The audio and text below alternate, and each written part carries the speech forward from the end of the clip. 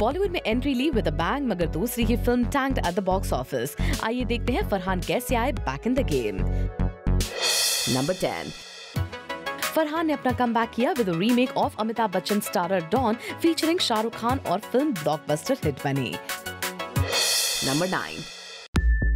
Interestingly Farhan और जोया ने collaborate किया था to write the English lyrics of Gurinder Chadha's Hollywood film Bride and Prejudice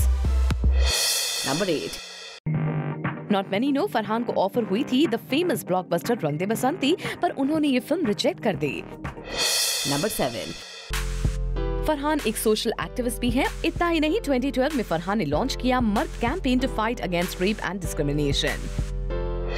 number six 2008 में फरहान ने किया अपना Bollywood debut as a lead in Excel Entertainment production Rock On film ने जीता नेशनल अवार्ड और फरहान ने जीता Filmfare best debut award number five Bhaag Milkha Bhaag मानी जाती है फरहान की one of the best performances और उसके लिए फरहान ने Filmfare best actor award भी जीता। Number four